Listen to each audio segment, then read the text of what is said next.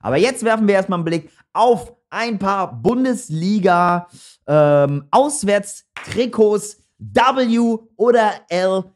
Niklas, wollen wir loslegen mit dem ersten Kit? Das ist das Auswärtstrikot von FC Heidenheim. Puma, blau on blue mit rot. Sponsor a Porsche Company, Lil MHP. Ja, okay. Ich bin. Das ist der Sponsor, Lil MHP. Das ist eine Straße? Ah, das könnte natürlich Ah, auch eine Straße klar, sein. Das klar. könnte aber auch Lil, Lil MHP, man. Äh, Okay, ich hab meins. Okay, wir haben ja nur W und L, ne? Wir haben nur Aber W und L. simpel. Aber ich habe es nicht so gut hinbekommen, bestimmt wie du. Bei mir ist auf einmal die Hintergrundfarbe blau, Digga. Ich Was? Einfach so. Egal, gib ihm, Digga. Zwei. Eins. eins. W. Junge, du hast es markiert, deswegen ist es blau, du Peach. doch wieder weg. Wie, wie markiert's das? Digga, drück oben auf Start von der Präsentation, Mann, verdammt. Warum ist es blau? es ist, es so. ist einfach blau. Ich sag doch. Junge, was ist mit dir? Du hast ja keine Ahnung von deiner Technik, Alter. Next Kid. Uh, Mhm. Köln. Köln Viele Streifen.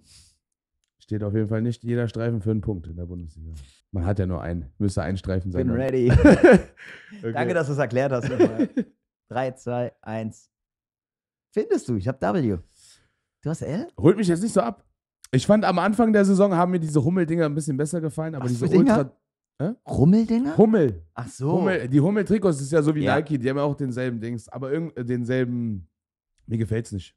Was haben die selbst? Nike hat doch immer diesen Bogen oben. Was ja, aber ich sage doch, mir gefällt dieses Trikot nicht. Mir gefällt's nicht. Warum hast du es jetzt mit Nike verglichen?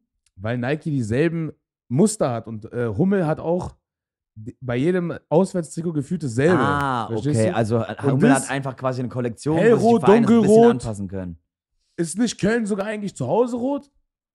Weiß ich nicht. Ja, aber die sind, die sind mehr weiß-rot ja, oder rot-weiß. Das ist ja. Full-Rot. Ich finde, es sieht eigentlich geil aus. So eine Farbe, verschiedene Farbtöne. Ich finde, es gibt eigentlich einen guten Touch. Ich finde, es sieht gut aus. I like that. ja. Tolles Rot eigentlich. Sagst du, dir gefällt's? Mir ja. gefällt's. Ist, äh, Zweitliga früher, fr- vorher war geiler, fand ich. Damn. Ich glaube, das sind, da sind wir uns schnell einig, oder? Damn. Castore und Leverkusen haben ja diese Season. Eat that W. So wie James Winston. Kennst du nicht, wa? Nein. Ähm, Krass. sehr stark. Vor allem dieses weiße Leverkusen-Trikot da drauf. Hertha traut es nicht mal ein schwarzes Trikot, schwa komplett schwarzes Trikot zu Stimmt. machen. Machen schwarzes Yo. Trikot mit blauem Logo. Die haben einfach ein weißes Logo da drauf. Wie tough sieht das denn aus? Vor allem das Bayer-Zeichen. Sexy. Einfach so eine Firma rein. Mies geil. Spaß. Nein, ich find's Trikot, ich find's Trikot geil. Ich find's Trikot geil. Ich find äh, die Idee geil mit diesem Querding da. Ich, diese Marke Castore. I don't know where you the fuck came from, but you making. Aber ach so, das hatten wir. Wir hatten beim letzten Mal doch die Oh, der kann keinen Leverkusen. Satz komplett fertig zu reden, bevor der nicht den nächsten in Digga, seinen ich Kopf schon kommt und direkt er nuschelt weiterredet. teilweise Sätze so weg. Ich gucke ihn an, ich verstehe kein Wort. Ich denke mir so, Tamam, ich sage nichts, Digga, du fickst mich bei der ersten Möglichkeit. Du. Du machst manchmal so. Du sagst man. Pisser, du, Alter. Er wendet keinen Satz. Ich wollte nur sagen. Beim letzten Mal, als wir die Trikots bewertet haben, Ja. Da haben wir auch irgendwas zu Bayer und Firma und so gesagt. Und da kam auch einer und meinte, der Hersteller hat die Trikots halt nicht designt, sondern die sind alle von aus dem Hause. Ich glaube, es ist ja normal, dass das Team mitdesignt, aber das ist komplett aus dem Hause aus, glaube ich, von Leverkusen. Haben die wirklich stark designt dieses Jahr, ne? Sowohl Heimtrikot überstark. Das sieht richtig gut aus, finde ich. Yes, man. I like it. Ehrlich. I like Ehrlich. It. Chat sagt auch Big W. Big Ws. Big Nice. Ws. Okay. Das nächste Trikot. Ui. Das Auswärtstrikot von Bayern Munich. Ist das die Weltkarte dort? oben im Nacken, ne? Die Weltkugel und dann Mir San Mir. Ah, nee, ich meine auch. Das Ach, ist du meinst Afrika auf dem. Gefühlt, oder? Das ist doch Du meinst Afrika. auf dem, äh, das würde Sinn machen, wenn es wahrscheinlich die Also von Weltkarte der wäre, weil her. oben im Nacken, oben im Nacken ist doch die Weltkugel da drin. Die haben wahrscheinlich so. Das sind alles so. Around the world. Around the world, we have everywhere is Bayern, We Milson, everywhere, man. 3, 2, 1. Also es steht nicht für Weekend League bei mir, sondern so 50-50. Ich Ja. finde es an sich gut. Ich frage mich, darf man, darf man sich drüber aufregen oder sich wundern, wo die Fra Farben herkommen? So jeder darf sich natürlich selbst entscheiden. So, aber da wundere ich mich schon so, where the fuck did that came from, man? Diese Violett und so, ne? Ja. Ich glaube, die Trikotnummern sind dann auch grün. Oder? Ja, ich glaube auch, ja. Also Schon es ist eine, ich, ich, ich finde es irgendwie, ich habe es glaube ich gehatet am Anfang der Saison, aber irgendwie, ich finde Bayern, also das Heimtrikot ist ja so weiß-rot, ne, weiß-haupt mainly und rot als Auswärts fand ich nicht so geil, aber die haben dieses Wiesentrikot, was ich ganz fresh fand, auch dieses grüne. Mhm. Dann haben die noch dieses, äh, das hier finde ich auch ganz fresh, ehrlich, das mit der Weltkarte ist mir erst jetzt zum ersten Mal aufgefallen, das sieht Wenn schon so cool ist, aus ja. irgendwie, da muss doch sein, die haben doch auch im Nacken diese Wo ist Italien? Africa is the center of the world. Keine Ahnung, aber sieht so aus Fall. äh, äh, verbessert mich. Aber ich finde es sieht fresh aus. Irgendwie hat es Ja. mich, hat's mich abgeholt. Das hat bestimmt auch alles wieder eine Bedeutung. Aber gerade das Trikot, was. Wie hieß der nochmal? Wadi, Wadi-Team? Wadi-Team? Nee, nee, nicht Wadi-Team. Das war nicht Wadi-Team. Wie hieß der andere? Der Designer, der das andere Trikot gemacht hat. Du musst seinen Namen kennen, Bro. Ah, Ashraf. Junge, was haben die da angestellt? Ja, das andere Champions das andere Motherfucker Bayern-Trikot Trikot. ist Champions League. Aber so zurück zu dem, ich finde es ich find's, ich find's, sieht gut aus. Auf jeden Ich habe ich hab Harry Kane da drin gesehen, er sah gefällt aus. Chat ist auch äh, gemixt. WL, geiles Trikot, mal was anderes gefällt mir nicht. WL-Ding, versteh dich, Benji. Next Unter- one. Freiburg war so schlimm. Weil, weißt du, weißt du, was für, was für Vibes mir das gibt, das Trikot? Müsst ihr, wenn ihr das seht, auch an einen Film denken direkt? Matrix. Ja, ne? Ja, klar. Gibt einen schon stark diese Matrix-Vibes. Getragen von Florian Neuhaus und Julian Weigel. Die müssen sich ein Trikot leider teilen. Ich sag ja, für mich war das Heimtrikot von Gladbach das Beste. Für mich war das Heimtrikot von Gladbach das Beste, aber ich, für mich ist es eher ein L. Für mich ist trotzdem W. Ich mag das trotzdem. Ich finde die Farbe nämlich sehr, sehr schön. Dieses Und mit Grün. dem Schwarz auch. Ja, ich feiere dieses Grün einfach sehr von der Farbe. Und auch so, wie sie dieses, dieses, diesen Glitch-Effekt so eingebaut haben und den Sponsor in die Mitte. Sieht trotzdem gut aus. Auch so dieser Glitch-Effekt oben bei dem Wappen mit dabei. Mir gefällt das Trikot. Ich finde es gut. Es ist jetzt kein Banger, aber er ist jetzt auch Also nicht schlecht. Trikot war so stark, fand ich, da kommst du auch schwer dann ran. So. Für mich ist auch eher ein L, ehrlich gesagt, irgendwie. Chat sagt Big L und einmal W. Also zwei Leute. Zwei Leute. Tobi, Tobi 97 ist aber, glaube ich, Union-Fan. Der support einfach, der support einfach Gladbach. Alrighty, dann kommt noch, da kamen jetzt noch ein paar Ls rein, Ja, okay. aber insgesamt sind wir da gemixt unterwegs. Das kann nicht das Auswärtstrikot das ist sein. nicht das Auswärtstrikot. Oder ist das das dritte Trikot? Ach, das dritte Trikot ist das hässliche von Darmstadt? Das Orangene. Ich, ich, hab- Das ist also, ja so ugly, Alter. Die haben, die haben letztes Jahr locker nicht diesen Kraft, dieses Kraft als Sponsor gehabt. Die hatten doch irgendwie Joma oder sowas, war. Weil letztes Jahr habe ich auch dieses orangene Trikot von Klaus Jasula Zeig mal bekommen. dieses andere, was da noch. Da, also sieht man unten noch die anderen Trikots von Darmstadt? Wenn du runterscrollst oder so? Da! Ah, das ist das dritte. Ja. Das finde ich ja so hässlich. Aber es sieht. Sieht Dieser Sponsor, Digga, das hör mal, wer da hämmert. hast du es schon mal gesagt. So ugly. Ich weiß gar nicht, was Hikes nochmal war. Wer, irgendeiner hat es dann reingeschrieben äh, bei uns, als wir die erste bewertet hatten. Äh, ist ein. Ah, okay, die machen Schuhe oder so. Was machen die alles? Ah, nee, die machen hier. Doch. Sieht aus wie nur Schuhe. So, oder, oder Material, so Arbeitsmaterialzeug. Schuhe oder Arbeitsmaterialzeug. Ja, nicht so stylische Schuhe, nicht so Arbeitsschuhe. so Arbeitsschuhe. Ja, Okay. Ja, genau, Arbeitsschuhe. Ja. Ist für mich ein L, sage ich dir, wie es ist. Ist auf jeden Fall ein L leider. So, ist so, das, ist auch das Trikot so, ist gar nicht so hässlich, so mäßig so versucht, so ich diesen, finde, dieser diesen Malerstrich, sieht aus wie so ein Malerstrich ja, der ja, Mitte so, so. Farbe ausgegangen. Ja, aber der Sponsor nimmt alles Ah, mir auseinander. gefällt mir gefällt's nicht so, ehrlich gesagt. Auch, auch der, auch die, was ist Kraft?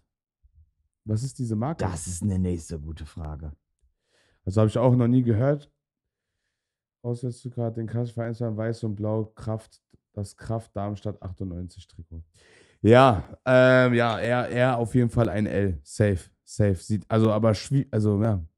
Ich weiß nicht, gefällt mir nicht. Sponsor finde ich jetzt nicht mal so schlimm, aber es ist schon sehr auffällig, auch der Sponsor mit diesem komischen Ja, Schriftzug, ne? Ugly. Schon L. Auswärtstrikot VfL Wolfsburg. Sieht aus wie Hingekackt und hingeschissen, Alter. Also, ganz ehrlich, wer auch immer da oben diesen Nickelodeon-Slime drauf geklatscht hat, hat eine Degradierung verdient. Nickelodeon Slime, Alter, wirklich. Die waren so wirklich, das ist so einmal runtergerannt, so Es durch diesen Slime, Alter.